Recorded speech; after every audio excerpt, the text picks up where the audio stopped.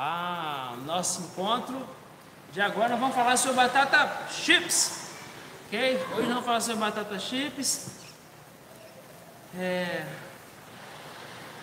sobre batata chips. Então vamos lá. O pessoal que vai chegando aqui já vai falando de onde você é. Essa live está aberta para todo mundo. Então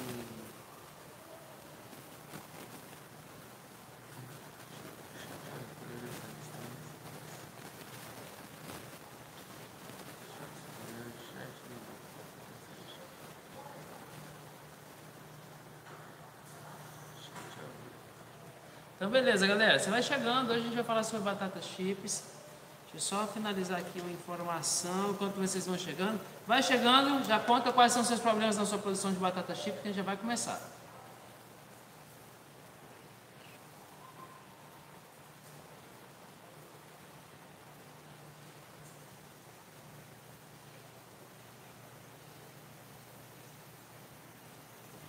Carol França, Laerte Flávio, meus alunos maravilhosos já vão chegando. São os primeiros, sempre os primeiros a chegar, né, velho? Isso é muito legal. Tá bom? Isso é muito legal. Isso, isso é muito legal porque vocês estão sempre em primeiro lugar. Sempre são os primeiros em tudo, na frente de tudo. Isso é muito legal. Parabéns. E já chega fazendo pergunta, galera. Já chega perguntando sem dó nem piedade.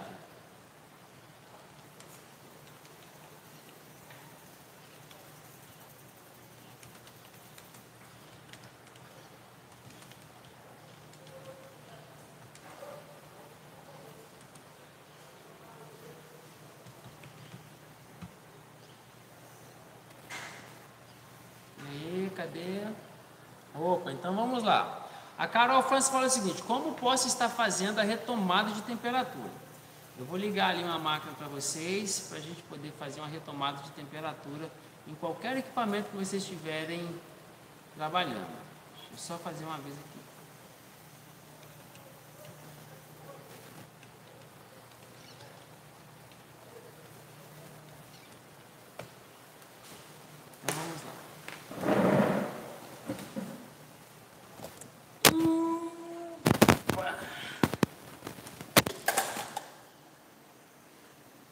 Conserta aqui baixinha, por favor, eu derrubei o negócio aqui. Então vamos lá. Batata chips, como é que eu faço retomada de temperatura? Como é que eu esse impasse da minha produção? Caso eu esteja trabalhando com equipamento a gás ou elétrico, o processo de retomada, pessoal, é a mesma coisa, não tem modificação. Não tem modificação. Então vamos lá. Vamos considerar um trabalho sendo feito com uma máquina como essa daqui. Deixa eu ver se esse trem vira. Opa, virou. Então vamos lá. Ó. Essa máquina aqui é uma máquina elétrica. Quando você estiver lhe perguntando uma coisa, pergunta especificamente como é feita a retomada de temperatura em um fritador, fritadeira, num tacho, é, a gás elétrico, automático, flex. Aí eu vou apresentar para vocês a solução. Como não disse qual é, vou mostrar do jeito que tem dessa daqui. Então, ó, retomada de temperatura. Coloco a matéria-prima aqui dentro. Primeira coisa, retomada de temperatura. Como é que eu sei se uma retomada de temperatura está funcionando ou não? Eu tenho que ter uma máquina, certo? E eu vou precisar ali do meu laser me informar a temperatura. Essa temperatura aqui, porque a máquina está desligada, né? Então, ó, eu tenho que ter um termômetro. Primeiro ponto, termômetro vai trazer para você aqui a clareza se o seu fritador, o seu tacho, a fritadeira está funcionando ou não. Por que, que você está assistindo essa aula aqui sem curtir esse vídeo? Por quê? Eu não entendi. Você está com alguma coisa espírito maligno em você. Não tem condição não. Bora curtir na live aí logo. Eu, hein? Aí, ó, pegou e deu a, já marcou ali a temperatura. Fechou? Então, para eu saber se a coisa está funcionando, se não está funcionando, eu dependo de uma máquina, de um termômetro, pode ser esse termômetro aqui, pode ser o termômetro de espeto ou qualquer um que você queira trabalhar. Por quê? Existem equipamentos no mercado, existem máquinas no mercado que a maioria deles, né, que a maioria deles, eles, esse ponto de temperatura que a gente tem aqui, da própria, do próprio termostato, ele não responde de forma correta.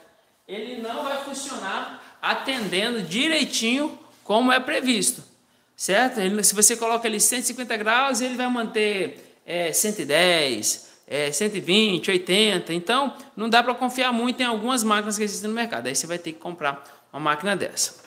Feita a colocação da batata aqui dentro da minha cuba de imersão, eu vou falar quando tiver as curtidas, que vocês vão se danar que eu não estou nem aí.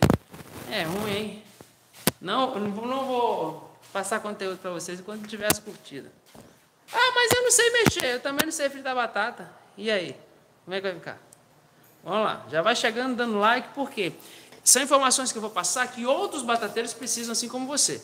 Então, se você não, não curte, o YouTube não entrega, não avisa os outros batateiros. Aí depois eles ficam lá mexendo o saco, mandando pergunta, a mesma pergunta 300 milhões de vezes, quando eu poderia resolver isso aqui num vídeo só. Então, é, vamos lá, todo mundo. Quando der o like aí, a gente vai seguir para a próxima fase, para os outros batateiros chegar e responder para todo mundo, facilita a sua vida e a minha. Porque na hora que eu respondo e resolvo esse problema dessas dúvidas aqui, aí eu posso me dedicar a dúvidas novas para vocês. Eu posso trazer mais conteúdos. Aí eu fico, vocês ficam me travando aqui por conta da porra de um like. Bora, mete o like nesse caramba aí logo, seus batateirinhos. Eu, hein? Vamos lá, agora sim. Bateu o like. Vamos lá. Vamos chegar aqui. Ó, então você vai fazer o seguinte: como é que você vai fazer esse trabalho? Coloquei a batata na imersão, a, a temperatura vai descer. Eu vou estar ferindo com o meu termômetro. A temperatura desceu, o que, que eu faço? Vou levar o meu termômetro para a temperatura mais alta.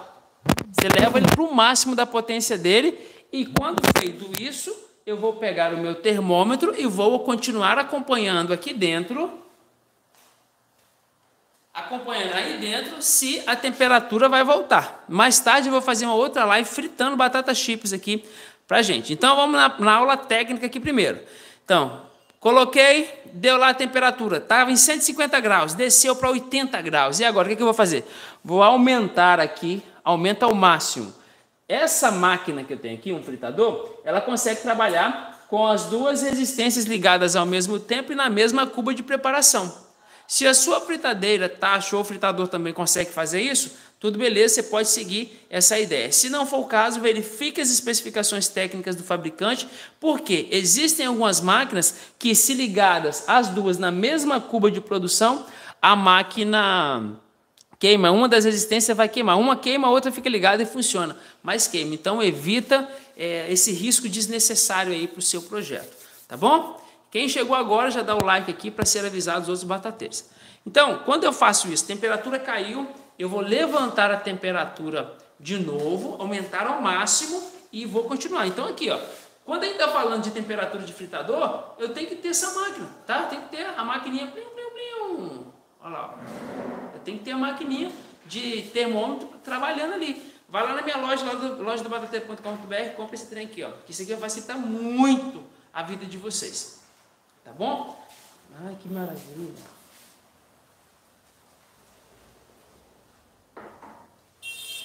Que vai facilitar a sua vida para você trabalhar. Outra coisa é o seguinte: ter uma balancinha. Quando você fraciona a quantidade de imersão que vai dentro da sua cuba, já facilita muito a sua vida. No nosso caso aqui, a gente nem fica pesando mais na balancinha não. Tá aqui, ó. Nós já temos essa vasilhinha aqui. Depois de pesada, a gente já viu que a quantidade dá exatamente até essa bordinha aqui. Então enche essa, essa vasilhinha de batata crua e é a quantidade exata que vai ali dentro. Nessa vasilhinha aqui é, cabem um quilo exato de batata chips crua para levar para minha imersão, tá? Cadê o seu like? Não chegou o seu like ainda? Eu, hein? Vai ter briga, hein? Então, ô Carol, coloquei minha batata, vou lá no termostato, levanta ao máximo. Vou acompanhando com o meu termômetro, pim, pim, pim, bateu a temperatura que eu estou fazendo a minha fritura, aí eu vou lá e rodo ele até o ponto de desligar o termostato, deixar só na fritura é, da temperatura que ele já estabeleceu. Só isso. Rafael, mas e se o meu equipamento for a gás, como é que eu faço? Mesma coisa, pessoal, não tem nenhuma diferença, nenhuma, é a mesma coisa, aumenta o gás. Subiu a temperatura, aí você vai lá e reduz o gás de novo. Baixou a temperatura, aumenta o gás. Passou da temperatura, desliga o gás. Então você vai ficar nessa, nessa gangorra aumentando e descendo a temperatura aí para chegar no ponto correto. Já existem as vantagens de um fritador. O que, que entra a vantagem de um fritador? Você coloca lá a, a temperatura, ah, eu quero 150 graus. A máquina vai trabalhar em 150 graus sem nenhuma dificuldade. Ela não depende de nada. Você só colocou, ela se vira para retomar a temperatura sozinha. Fechou? Entendido, Carol? Gostaria de saber temperar batatas. Aí fritou a batata, pegou o temperinho de batata. Deixa eu ver, eu tenho um temperinho bem aqui. Deixa eu ver se tem ainda. Ó. Salzinho de gato, ó. Feito hoje de manhã, salzinho de gato. Aí pegou o temperinho, fez o salzinho de gato, terminou de fritar a batata, temperou, jogou por cima da batata e tá tudo resolvido, não tem dificuldade nenhuma, é só isso mesmo. Tá ok? É. Quais os temperos indicados? Tem um livro chamado Livro de Receitas da Batatolândia, Temperos e Especiarias. É um absurdo vocês estarem aqui até esse momento e não terem adquirido esse livro até agora. Por quê? Porque esse livro é onde eu apresento mais de 40 sabores de temperos feitos todos à base de amido de batata, ou seja, temperos que vão realçar o verdadeiro sabor da sua batata. Tá? A batata que você vai trabalhar, esse tempero vai realçar é, o sabor da batata. Às vezes tem tempero aí que a galera usa tempero de pipoca para realçar o sabor do milho ali, daquele isopor da, da pipoca. O nosso é para realçar o sabor da batata palha, batata palha artesanal. Olha que coisa mais linda do mundo essa aqui. Nada de supermercado, de indústria, nada disso. Entendeu? Então, esse livro você vai encontrar lá na loja do Batateiro, www.lojadobatateiro.com.br. Quem souber, digita aí para mim. É, e aí você vai temperar suas batatas. Aí lá tem sal de gato, italianinha amarelo, barbecue, chile, é, ixi, sal do rancho, tem vários sabores ali. Então pode pegar qualquer receita daquela. As receitas que tem ali, você consegue fazer o tempero de batatas fritas, batata palito, palha, chips, macarronete, batata espiral, qualquer batata. E também batatas fritas, tá? E também ele pode ser adicionado em molho. Se você faz o molho, você faz o molho, né, ali a maionese, é, ou compra uma maionese pronta, aí você pega e você pode fazer a maionese de sal de gato. Você pega o sal de gato e mistura na maionese. Olha aí, para você que não sabia que já tem um livro, mistura o tempero na maionese. Você vai ver que coisa maravilhosa de gostosa. Outra dica: você pode fazer é, farofinhas, entendeu? E usar farofinhas e usar batata palha ok? Você faz a, batata, a farofa e mistura batata palha com farofa. Você vai ter uma farofa crocante, fica muito legal. Mas vamos voltar a falar de batata chips aqui, né? Então, Ana Maria, os temperos indicados são os temperos do livro de receitas da Batatolândia, Temperos e Especiarias. Você vai encontrar esse livro no www.lojadobatateiro.com.br. É bem baratinho, você vai ter acesso ali a mais de 40 receitas para você trabalhar. É... Vamos lá. Só, só a Ana que está falando no grupo do WhatsApp, a Carol. Já curti, boa tarde. Quem não curtir não vai conseguir participar da live. Daqui a pouco eu paro. As rodelas de batata chips, você aconselha sempre deixar de molho na água antes de ir para o óleo quente? Ou recomenda ir do corte para o óleo. Não, tem que passar pelo choque térmico, tem que passar na água gelada pra caramba ali até ela atrofiar. Tem que passar no, na água assim, senão você vai pegar o amido do, da batata, aquele leitinho da batata, e levar para dentro da gordura. Eu vou mostrar para vocês mais tarde um pouquinho. Eu vou fazer outra live de preparo, que a gente vai fazer uns preparozinhos aqui.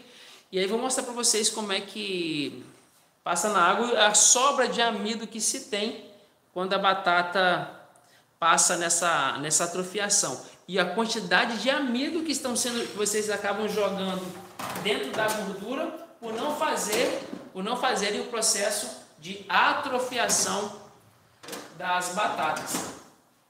Tá bom? Estava pensando, mas também tive a ideia de usar uma bacia. Tem que ir para. Show de bola, entendido. Fechou, Ana. Trocar a água que a batata é cortada pode ser. Troca a água que a batata é cortada pode ser trocada? Interfere alguma coisa na perca? Não, não interfere nada não.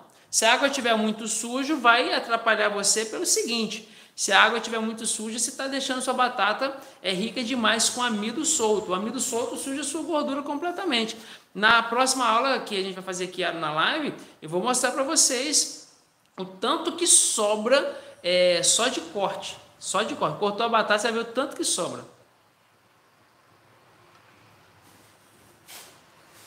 Vocês vão observar o tanto de amido que sobra, e esse amido que está ficando na água é o amido que iria para dentro da sua gordura. Esse amido que iria para dentro da gordura vai levar sua batata a ficar com cheiro de ranço, gosto de ranço, validade baixa, gordura suja, vai dar mau cheiro na batata quando abrir o pacotinho, estragou a batata ali sem necessidade.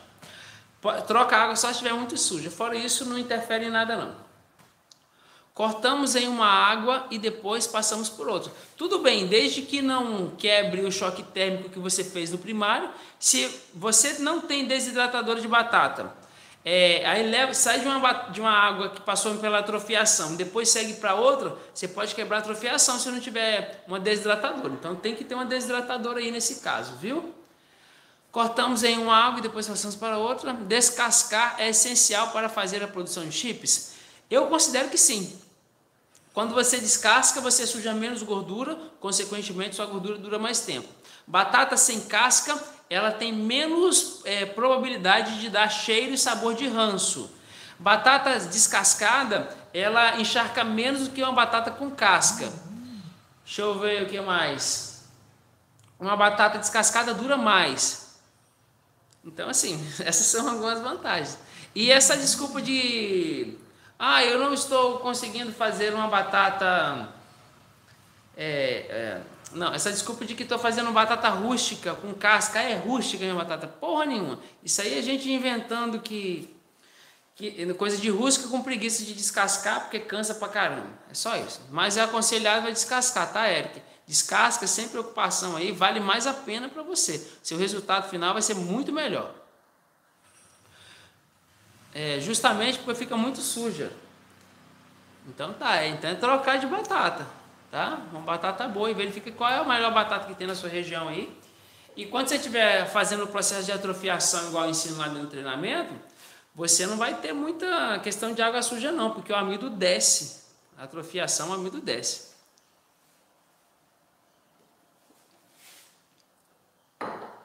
Quanto tempo deve-se ficar na água gelada essa batata depois de cortada? Até atrofiar.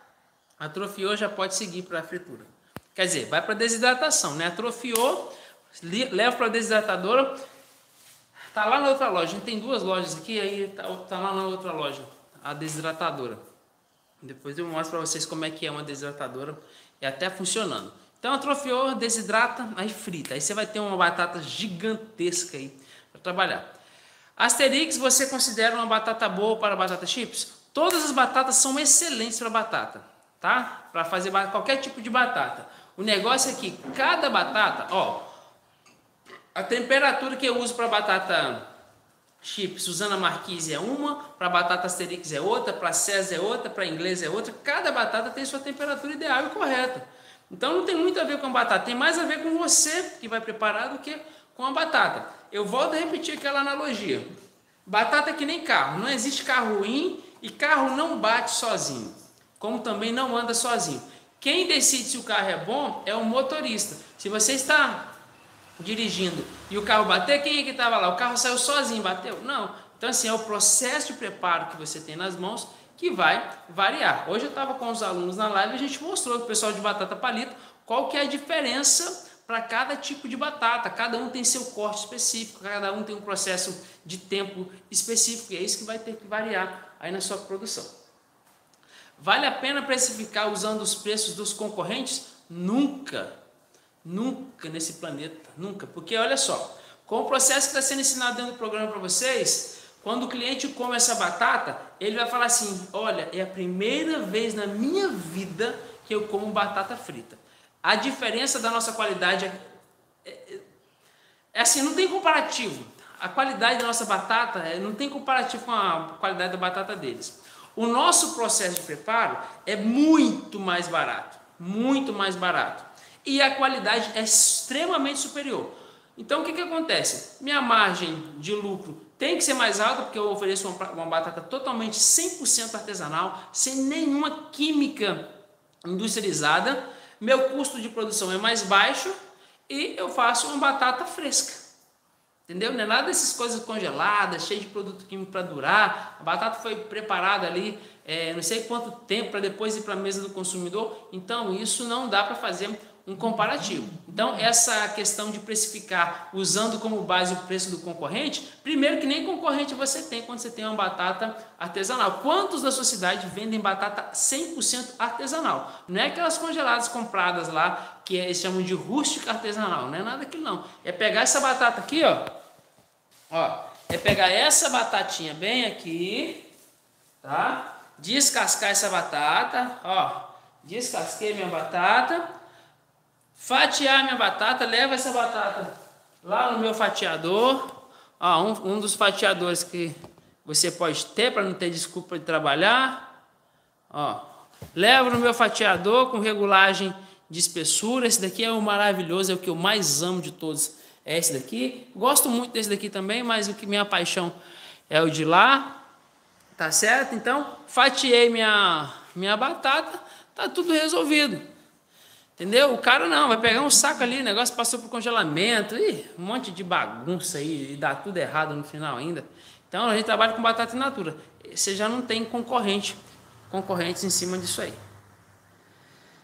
É, já trabalhou com batatas doce chips? Totalmente. Aqui, ó. Vou te mostrar aqui, ó. Nossa batata chips. Eu faço batata chips roxa, diferente, quase ninguém tem, porque é mais cara, né? O povo não quer gastar o dinheiro. Aí, como ninguém quer gastar o dinheirinho, eles querem economizar, aí Papai Rafael vai lá e faz aqui, tudo na caixinha para poder, sei lá, ó, batata chips doce. Tá vendo? Aí, ó, crocante minha batata. Sequinho crocante. Tá aqui dentro da sacolinha para fazer a selagem ainda. Então tá aqui, a batata doce também. Faz batata de tudo quanto é jeito, galera. Vocês estão doidos? Pergunta, tem batateiro? Ó, vai ficar de castigo, hein? Aí tem batata que a gente faz no fritador, batata chips doce frita. E tem batata chips que também é feita no forno aqui por desidratação dela assada. Fechado? Então fazemos sim batata chips doce. Eu faço ela roxa e também a alaranjada, que é a salmão. Batata doce salmão. Fica bom pra caramba. A galera fitness compra tudo. Meu esposo bate em mim. Tô brincando. Meu esposo bate muito na tecla que precisamos de que pesquisar de pesquisar os concorrentes, mas eu penso o contrário. Não, você tem que analisar ali, até para você não colocar muito fora, né? Que às vezes você vai ter como parâmetro o perfil de cliente que tem na sua região. Às vezes o, cliente, o perfil de cliente que tem na sua região é de investimento muito baixo, ele é fraquinho financeiramente falando. Aí não adianta você colocar uma batata artesanal muito cara. O que, que pode ser feito? Fazer uma porção menor um pouquinho ou fazer um alinhamento de corte para que a porção pareça ser maior. Como essa porção pode parecer maior, aí você já ganha dos seus possíveis é, concorrentes, né, os tais, tais chamados de concorrentes que tem na sua região. Vou mostrar um pouquinho a cena que é da minha, da minha janela aqui da loja, onde vocês vão vir fazer os cursos presenciais. Vocês vão fazer os cursos presenciais bem aqui com a gente.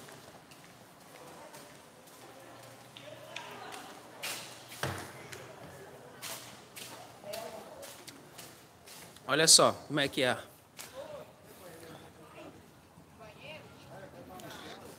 É, não dá nem para comparar para a vista daqui mesmo, do lado de fora como é que tá, para que vocês estão vendo. Olha que sol, que céu incrível. Aí que maneira. Aqui atraca, atracam os barquinhos. A gente pega peixinho fresquinho, camarão tudo fresquinho aqui, caranguejo, é, siri, lagosta, tudo aqui, tudo bem fresquinho. E aqui é, a, é o espaço onde a gente tem os treinamentos presenciais, né? Para quem faz o curso presencialmente, vem para cá, é em Vitória, no Espírito Santo. E dá o like aí, pô, dá o like aí, caramba. Aí vocês vêm para cá. E aí você tem os treinamentos com frutos do mar, também nas batatas. Batata recheada com frutos do mar, batatas fritas com frutos do mar. Tudo na, no segmento de frutos do mar. E são as fritas marítimas. tá bom? Então é bem legal, muito bonito, né? Aí no finalzinho de tarde a gente senta lá no pier, todo mundo coloca as cadeirinhas lá, senta para comer as batatas com a galera que vem prestigiar o trabalho. Enfim, vamos falar de batata de novo. Meu esposo, você já passou aqui já? Meu esposo bate muito na tecla de que de pesquisar os concorrentes, já pensa o contrário. Você vai lá e usa como parâmetro as informações dele, que aí se, se o preço for limitado, todo mundo 10 reais, por exemplo. Aí você faça uma porção que fique dentro dos 10 reais, mas deixando bem clara, bem claro para o seu cliente que o, a batata que você está trabalhando é uma batata 100% artesanal. Isso vai te diferenciar aí da galera. Se eu não tenho uma centrífuga para secar batata, teria alguma sugestão para secar pós água gelada? Centrífuga para secar roupa, Eric. Não sei onde vocês inventaram isso. Não vou nem responder essas doideiras aí. Não sei onde vocês inventaram negócio de centrífuga. É, processo da batata doce é igual? Não, completamente diferente. Completamente diferente. Para com essas doideiras de centrífuga. Centrífuga para secar roupa, porra. Entendeu? A gente tá falando aqui de desidratadora, toda hora enfio no, no ouvido de vocês, desidratadora, desidratadora, desidratadora. Pô, vocês estão fazendo de doido? Eu, hein? É desidratadora, vai resolver o problema de vocês. Não tem negócio de centrífuga, não. Centrífuga até seca a batata. Mas na hora de fritar, você precisa de tempo de fritura. Você precisa manter a sua batata 120 dias, sequinha, crocante. Porra, aí a minha batata ficou seca para colocar dentro da, da fritura, e daí? Frita essa batata molhada mesmo, não vai fazer diferença nenhuma, porque em, em 10 a 15 segundos já secou aquela água ali na fritura. Agora, quero ver se é desidratar, 70% dentro da cuba. Por isso que existe aquela diferença. A galera que leva 15, 18 minutos para poder fritar uma porção de batata, quando outros estão fritando, fritando a mesma quantidade de batata no mesmo tipo de equipamento em 6, 7 minutos aí. Pô, a diferença é muito grande. Então sai desse negócio. De... Agora fala assim: não, eu só quero secar, porque eu não sei para que serve uma desidratação. Aí compra uma centrífuga. A gente aconselha comprar uma centrífuga até lá na OLX, precisa nem comprar uma nova.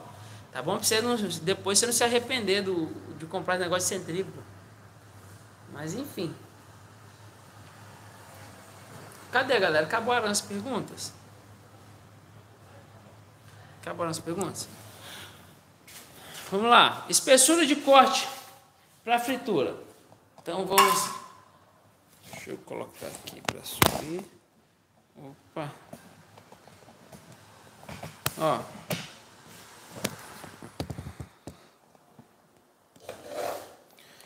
Então, deixa eu modificar. Ó, espessura de corte. Todo fatiador que você for comprar, é aconselhável que você adquira um equipamento que tenha regulagem de espessura. Todo equipamento que você for fazer corte de batata chips, o ideal é que você trabalhe com máquinas que tenham regulagem de espessura. Ó, essa daqui tem regulagem de espessura. Tá bom? Você aumenta e a regulagem dela para poder trabalhar. Fechou? Você pode rodar para um lado, ela aumenta, para o outro diminui a espessura do corte. O legal dessa máquina aqui é que ela faz o corte de batata chips, faz o corte de batata. Deixa eu ficar do outro lado aqui, senão a luz atrapalha. Ele faz o corte de batata chips, faz o corte de batata palha. Deixa eu ver se tem como ver. Ó, dá para ver as lâminazinhas aqui, né? Ó, tem a laminazinha aqui. Corte de batata palha, faz o corte de, de batata graveto, tudo na mesma máquina. Essa daqui a mesma coisa. Então todas têm regulagem, regulagem de espessura, ó. E ainda tem a troca de lâmina. Tá vendo? Faz batatinha palha, faz uma espessura de corte de batata palito, mas eu acho que é a de 5 milímetros, é muito fina e é ruim de trabalhar. A não ser que seja para fazer a, a, o hot dog frita no palito. E aí você pode trabalhar com a espessura de corte aqui. Tem duas espessuras de corte para batata chips. Aqui, ó. Olha lá. Eu vou diminuir. Tá vendo? Então, tem aquela, aqueles, aqueles fatiadores já chineses, né? Que a gente encontra nos mercados. Deixa eu ver se eu tenho um aqui ainda.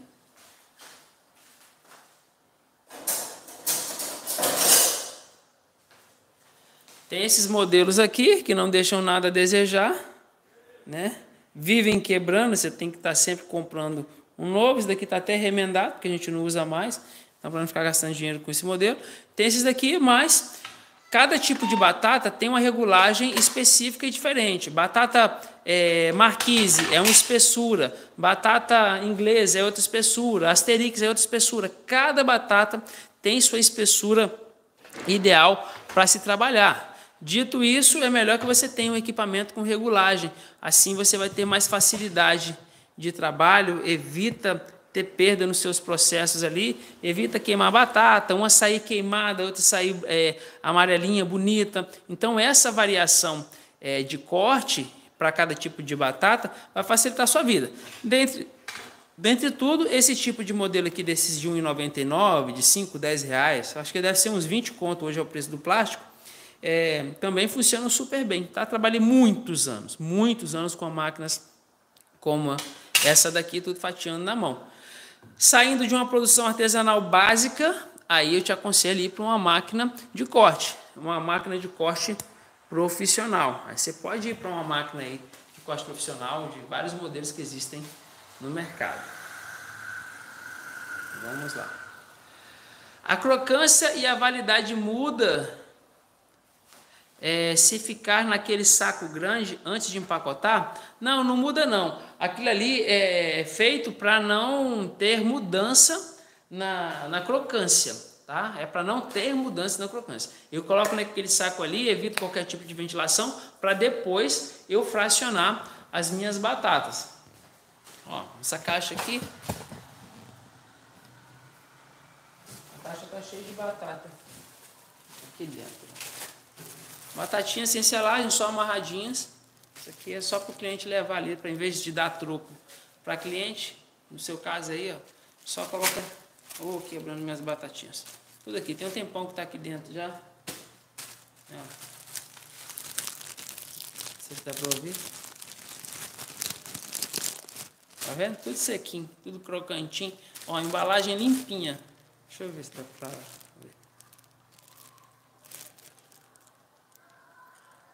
Embalagem limpinha, ó, nada de gordura. Ó, a pontinha não tem nada de bolsinha de gordura, tem nada. Sequinha, crocante. Deixa eu ver se fica melhor. Ó, embalagem bem limpinha, ó, nada. Não fica aquele trem vai tudo grudado, tudo soltinho. Fácil, tá? Então é isso que você tem que fazer para ter uma boa qualidade. Aí entra na questão de processo também, que é o que a gente vai mostrar quando eu estiver produzindo logo mais. Vamos ver se tem mais alguma pergunta. Onde no curso mostra a espessura de cada tipo de batata? Dentro do módulo de processo de preparo. Mais alguma pergunta, galera? Mais alguma pergunta? Fechou?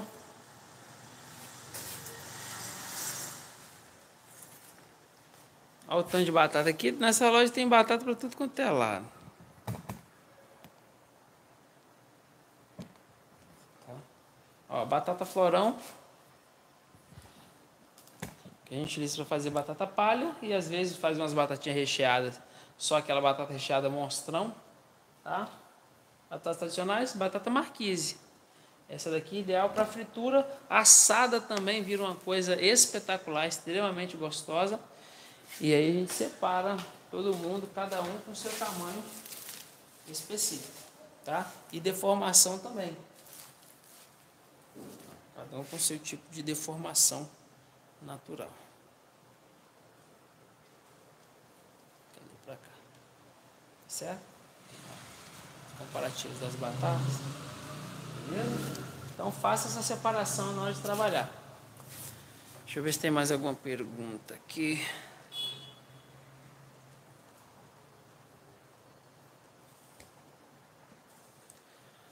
Fechou, galera. Gratidão pela participação de vocês. Aproveita dar esse like aí. Mais tarde eu volto. É, não sei se vai ser aberta para todo mundo, se não, alunos já saibam que mais tarde, um pouquinho, a gente vai fritar alguns quilinhos de batata aí com vocês no nosso processo de preparo da batata chips e batata palha. Grande abraço e gratidão pela participação. Venha da próxima vez com mais perguntas. Venha com mais perguntas, porque essa foi uma aula teórica, na próxima é aula prática. Aí quem não pergunta na aula prática, é, na aula teórica, na prática vai estar com dúvida, porque o que eu estou falando aqui é o que nós vamos aplicar lá na hora. Então venha para as próximas aulas. Com dúvida, deixa seu like e a gente se encontra na próxima aula. Abração. Tchau, tchau. Fui.